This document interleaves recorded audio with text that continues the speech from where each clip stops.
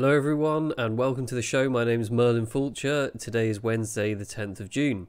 Uh, so, lots more things have been happening. In possibly about 24 hours ago, uh, there was a, a big development in the ongoing uh, furore around statues and statues, particularly of uh, imperial uh, slave owners in the United Kingdom. So, this is a topic which um, obviously follows from the death of George Floyd in the United States, from the Black Lives Matter protest there, and also here in the United Kingdom, and also um, what happened on the weekend with the statue of Edward Colston being dismounted and then dunked into Bristol Harbour. And so, what happened yesterday uh, was that the statue of Robert Milligan. Uh, was dismounted by the local authority Tower Hamlets in East London. And so Robert Milligan, uh, obviously it's not a very well known name, just like Colston, Edward Colston, not a very well known name. But what Robert Milligan did, he was a slave owner, and he was also somebody who built the West India Quay, the West India Docks, uh, which is an enormous uh, dock complex in East London. And this was built at its time, it was very high tech and it was part of uh, this trade triangle that effectively sold manufactured goods and then took slaves from Africa to the West Indies and then took those products from that region back to London, where it was then sold to make enormous profits, uh, profits which were made through the exploitation, uh, through the through the death of so many people and brutality and uh, forced movement and expropriation of the products of their labour. So Robert Milligan. Um, he effectively was a part of advancing a very destructive part of human history.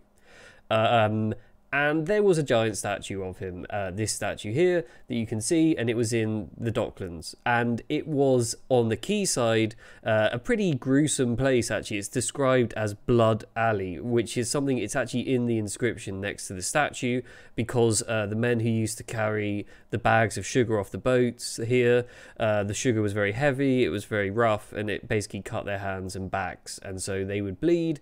Uh, so it was obviously gruesome for the dock workers, but the, the, the origin of this sugar was also gruesome as well.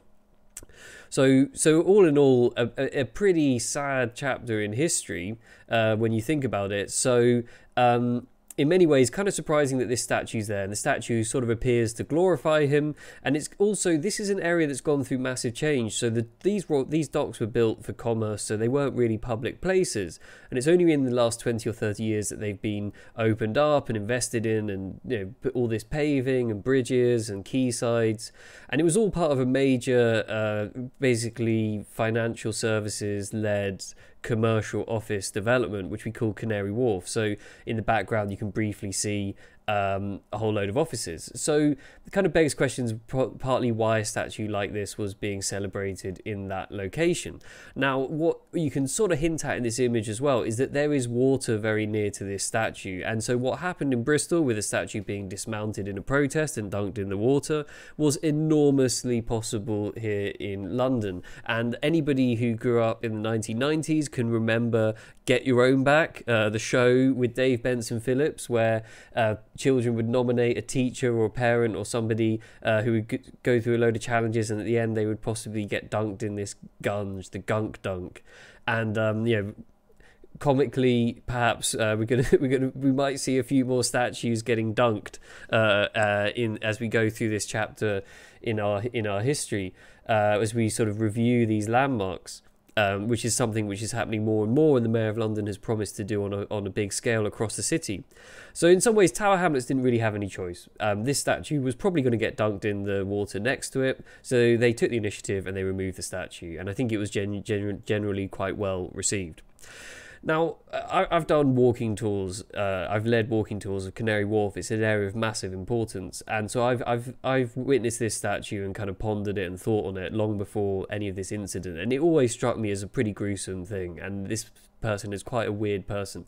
Frankly, I would say a lot in Canary Wharf I find quite gruesome and quite weird and quite sort of unusual things to glorify, but that's another story. So for me, this makes sense, and I think Tower Hamlets were definitely taking the initiative here.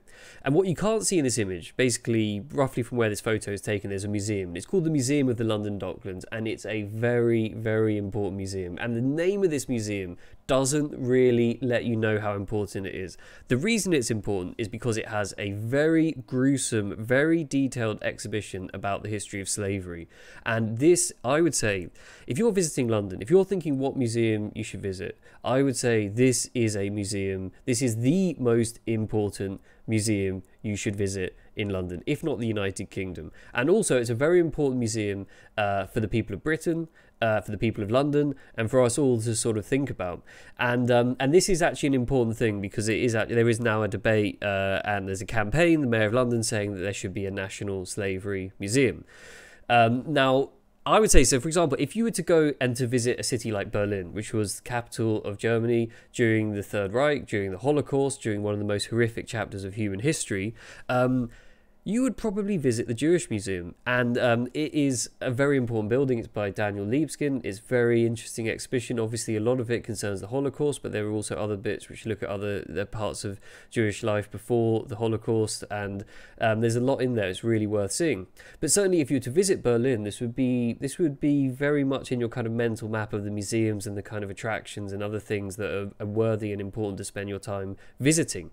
Now, in London the Museum of London Docklands is not really up there, and that slavery exhibition is not really up there. I'm not trying to compare one to the other, but I'm saying that I think we possibly need something which is which is able to tell these important stories, but which is also properly signposted so people can properly understand and get to it. And we have a bit of an issue, really, frankly, in Britain and in England and in London because we're not very good at dealing with these things. So here's a picture of the British Museum, and if anyone who's been to the British Museum, it's a really it's a it's a really fascinating museum. There's a lot of stuff there. There's a fair amount that tells the history of Britain. Uh, there's also a lot, really, the most visually striking and impressive, and the most things that most dominate this space as a museum are these various objects which have been taken some of them from the British Empire, some of the parts which weren't part of the British Empire, but it's basically a kind of collection of things which, in many cases, quite controversially, have been taken and put on display in London. It doesn't, at an initial glance, it doesn't tell you a huge, huge amount about Britain. And and actually, you know what? There isn't really a history, uh, a museum of English or British or London uh, history. Or sorry, there is a London museum. I'll come to that later. Um, so we've got the National Portrait Museum. It's okay. It, it really isn't. I mean, it, it's it's good, but it's it's not quite that important as a museum, frankly. Um, we've got the House of Parliament. Actually, has a lot of really important stuff in it. A lot of statues, a lot of paintings. We've got Westminster Abbey. Actually, it's not really properly understood, but Westminster Abbey is the most extraordinary museum of history you could imagine. A lot of statues in there. A lot of them potentially quite controversial as well. Um, you have to pay quite a lot of money to go into Westminster Abbey. Uh, when you're in there, there really isn't much interpretation to help you understand what you're seeing. I mean, there's a room in Westminster Abbey with the tomb of Queen Elizabeth I and the tomb of Mary, Queen of Scots, right next to each other. There's not a whole lot there to help you understand the significance of it. Um, and I think this is a bit of an issue. And I think also, if you look at things like, for example, outside of London, in Manchester, we have the People's History Museum. Uh, in Reading, we have the Museum of English Life. But we don't have anything in London which really discusses these bigger issues. And certainly, we don't have a National Slavery Museum. We don't have something which actually discusses the history of imperialism or anything like that. And although it does exist in this Museum of London Docklands, but it's not properly signposted. And and actually, I think this is a bit concerning because uh, you know I, I'm an architectural journalist, so I write about procurement. I write about culture, the build, the creation and the design of new cultural buildings like this one. So this is an extension to the British Museum. It's by uh, Richard Rogers uh, Partnership. Um, we've had a boom we had an absolute boom in London of, of construction of new cultural projects. So this is an extension to uh, the Tate Museum, uh, which was supported by the sugar magnate Henry Tate in its founding. Um, it's by Herzog de Meuron. It's a massive multi-million pound extension. It was built during a period of enormous austerity where funding to schools and housing and various other things was cut. Uh, this project still went ahead. It's a huge art gallery. It has a really cool viewing platform, but it doesn't really deal with any of that kind of deficit of dealing of, of museums dealing with this cultural imperial legacy, right? It, and I would say it does a little bit of that stuff, but it doesn't really do it in the way that something like uh, the Jewish Museum does in Berlin, in kind of addressing these quite important, extremely important issues, right? So I think that's uh, uh, yeah, and then and then there's been a lot of projects like this. So this is again, this is the Tate Britain. There's another Tate Museum down the road, new staircase by Caruso St. Uh, sorry. It is Caruso. It is St. John Architects, excellent architects. Uh, new stairway there, uh, and other projects. Um, this is the V&A Victorian Albert Museum, his museum of design, massive new addition by Amanda Levete Architects, plus various other additions that have happened over the last ten years inside this museum. It's a museum of design. It's beautiful. It was um, it includes various items bequeathed by the royal family.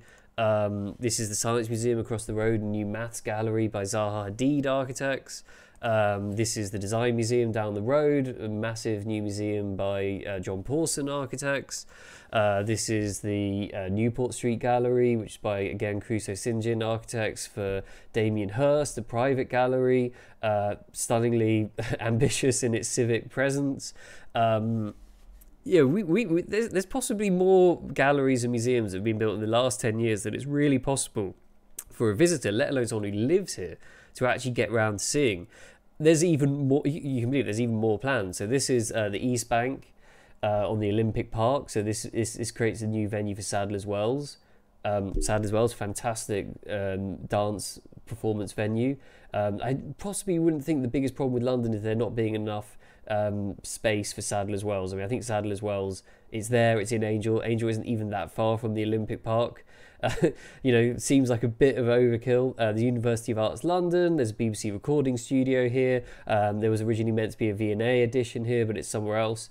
I mean, we're pretty, we're getting pretty saturated when it comes to to cultural spaces. Yet none of them address that key deficit of, of, of, of saying here's a space that deals with that kind of imperial legacy, that deals with all these really important topics that need to be addressed, especially in this age of the COVID 19, which has really exposed those massive structural and institutional injustices that exist in the United Kingdom. So, having said all of that, I am optimistic, and one of the projects I'm optimistic about is this one, and it's the um, uh, I was just wanted to say that this this previous project is designed by O'Donnell and Tuomey, who are an excellent architects. I think this will be a good bit of architecture. Um, but then um, this is here is the Museum of London. So this is over in Smithfield.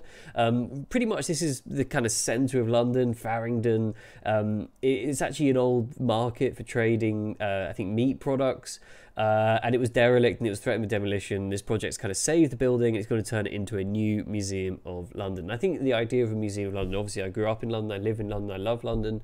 I think a Museum of London is really important. Now, I just want to add that the Museum of London Docklands is part of the Museum of London. It's just in a different location, a satellite.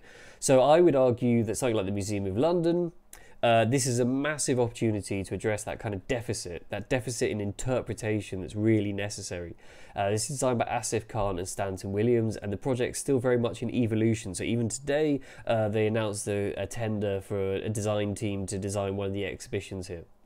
I, am pretty hopeful that this is a place that can actually solve um, or at least uh, play a part in in helping with that interpretation. Not that interpretation is going to solve all those bigger structural and institutional imbalances that we have in the United Kingdom, but I think if we can go some way to having a space that tells that story, that isn't hidden under a kind of weird title like Museum of London Docklands, but Museum of London that actually can tell the story, you know, where the wealth of London came from, um, the issues to do with slavery, with uh, the imperialism and other things, uh, both near and far and also the history of the working people of all people uh, that made the city what it is.